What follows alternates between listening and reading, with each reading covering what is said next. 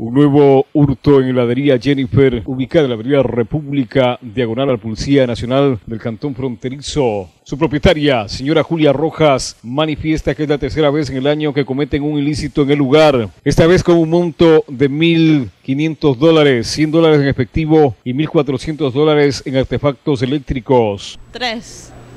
Tres robos. Tres robos.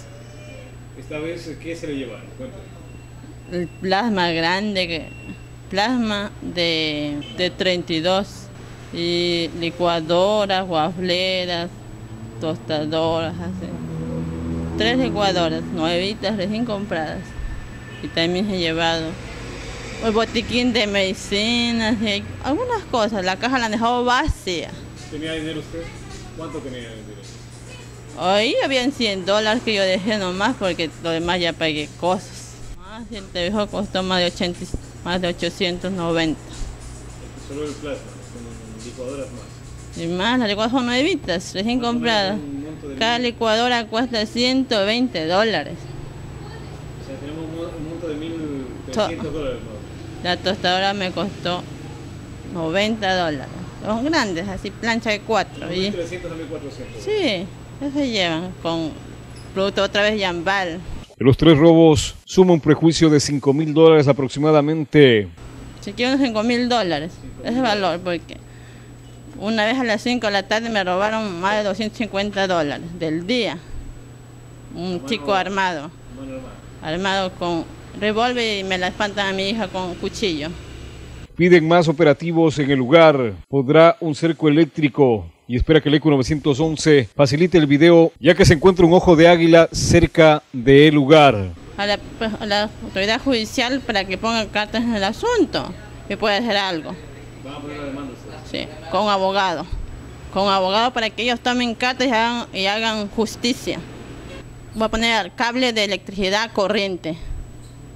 Alta tensión. Alta tensión. Para que haya peligro y si, si quieren meterse a robar, se queden pegados.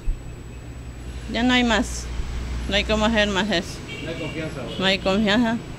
Porque no hacen nada los, los policías. Ha perdido casi la confianza en los caballeros de la paz. La policía dice que vaya a poner, que vaya a poner la denuncia a la fiscalía para, para que pidan a 901 que vean investigación las cámaras. ¿Hay cámaras por ese sector? Sí, cámaras frente, hay multillanta Dolfo, hay cámaras. ¿Está cerca la cámara? Sí, están cerquitas. Ustedes anteriormente pidieron al ECO 911 y ¿qué pasó? Cuéntenme. La policía dijo que iba a venir, me iban a llamar y nunca me llamaron. Se hicieron los locos y no me hicieron caso. La policía está de adrede, porque la policía le dicen algo, ya, ya, ya voy y nunca llega.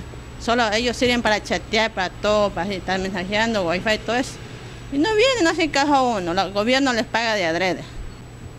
Se dan de la peor porque una, solo una vez nomás andan por aquí vigilando, ellos tienen que andar cada rato, vigila, vigila la policía. No es la primera vez que roban por aquí.